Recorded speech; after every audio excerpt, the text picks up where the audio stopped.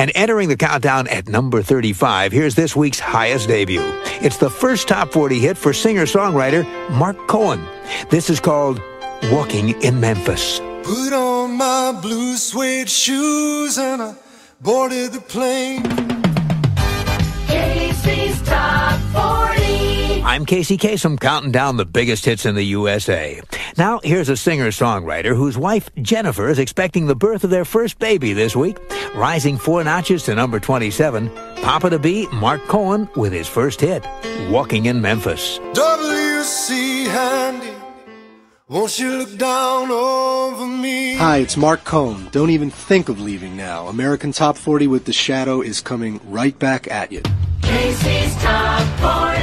I'm Mark Elliott sitting in for Casey Kasem. We're counting down the biggest hits in the USA. Now, we're up to the song Walking in Memphis, the first hit for a man who got his big break walking around his junior high school singing songs by Rod Stewart. His name is Marc Cohn, and Mark grew up in Cleveland, one of the most rock and roll obsessed cities in America. It's not for nothing that Cleveland was picked as the home for the Rock and Roll Hall of Fame. And it's not for nothing that Marc Cohn grew up in Cleveland loving rock. Mark was the youngest of four boys, every one of whom dreamed of being in a band. In fact, Mark was taught to play piano by one of his older brothers who had a band that practiced in the Cohn family basement. As Mark grew up, rock became his life too. He was so involved with music that he'd walk around the halls of his junior high school singing songs from his favorite albums. He went through a Van Morrison period, and after that, he got completely hooked on Rod Stewart. That was back in the early 70s during Rod's Every Picture Tells a Story period. Mark could sing that entire album from cover to cover. And it was while he was walking through his junior high one day singing Maggie May that Mark was overheard by the younger brother of a guy in a local group called Donebrook Hotel. The kid told his brother about this crazy guy in his school who could really sing good. And the group invited Mark to drop on by and do a little singing with them. They liked Mark and hired him, and he sang with that band through high school, working clubs all over the Cleveland area. And after college, he devoted most of his time to singing and songwriting. This week, the man who used to sing Rod Stewart songs while he walked down the corridors in junior high is singing his own song on Casey's Top 40. Rising two notches to number 13, here's Marc Cohn with Walking in There's Memphis. a pretty little thing waiting for the king down in the jungle room.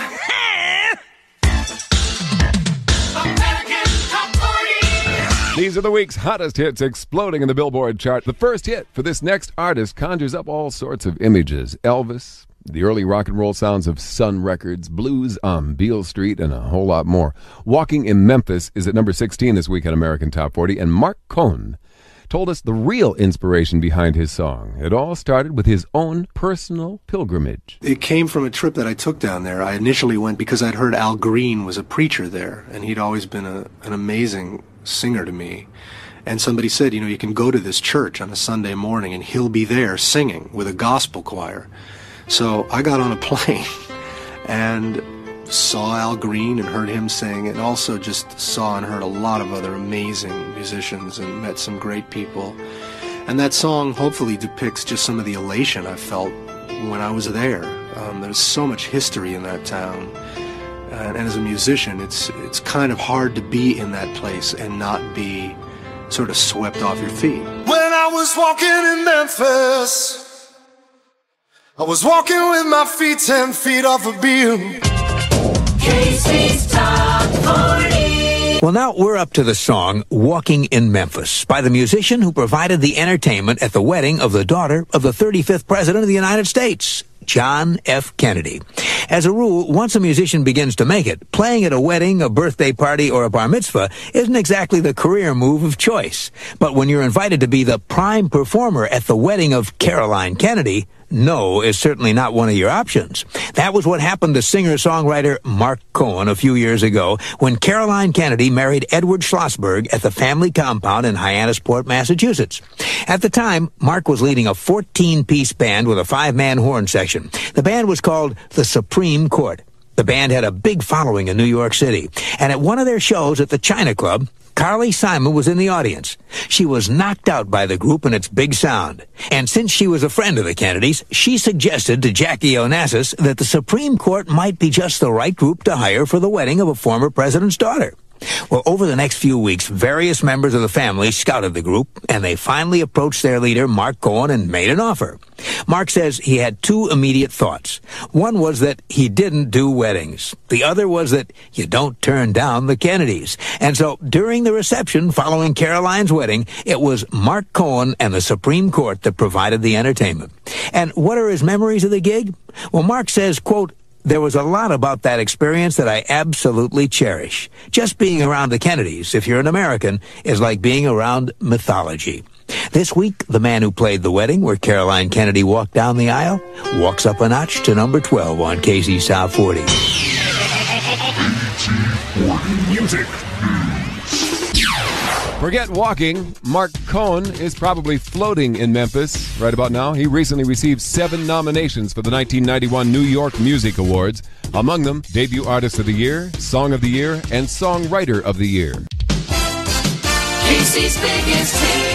Five years ago this week, one of the biggest hits in the USA was Walking in Memphis by the singer who won the 1991 Grammy for Best New Artist. He beat out Boyz II Men, Color Me Badd, and Seal to do it.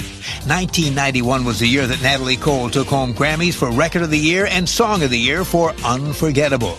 It was the year that Michael Bolton won for When a Man Loves a Woman, Bonnie Raitt won for Something to Talk About, and REM won for Losing My Religion. And it was the year that a newcomer named Marc Cohn won over several acts who went on to major stardom in the years to follow. In the category of Best New Artist, he was up against Boyz II Men, Color Me Badd, and Seal, along with the C+C Music Factory. When the dust cleared, it was Marc Cohn who was holding the statuette. And it was this song, along with an impressive debut album and lots of critical praise, that helped him get it. A song that was one of the biggest hits in the USA five years ago this week. Here's Marc Cohn with Walking in Memphis. Put on my blue suede shoes and I boarded the plane. Touchdown in the land of the Delta Blues. In the middle of the pouring rain. Casey's coast to coast.